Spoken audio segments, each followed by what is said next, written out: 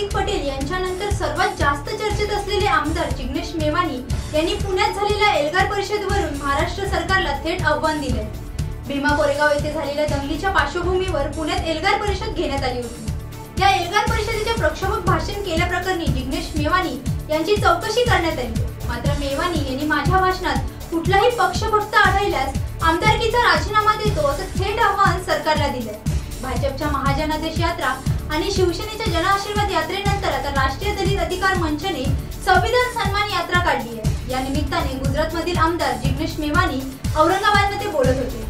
प्रतिनिधी इम्रान शेखचा आधार न्यूज़ औरंगाबाद. यलगार परिषद में हम मौजूद थे।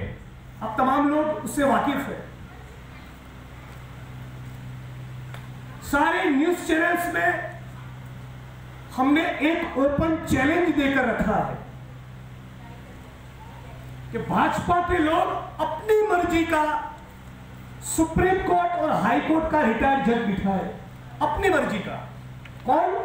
भाजपा के लोग। पीछे। वो अपनी मर्ज़ी का कोई बुद्धिजीवी बिठाए। अपनी मर्ज़ी का पत्रकार बिठाए।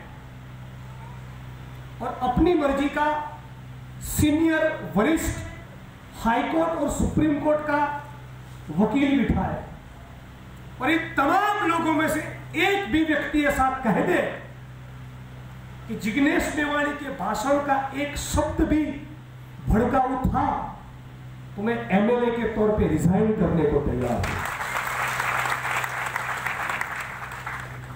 तो हमारा काम इस मुल्क की गरीब जनता को मेहनत कश आवाम को, दलित, आदिवासी, ओबीसी और माइनॉरिटीज को अपने हक और अधिकार के लिए प्रेरित करना है, भड़काने का काम इन नागपुर की नारंगियों का है।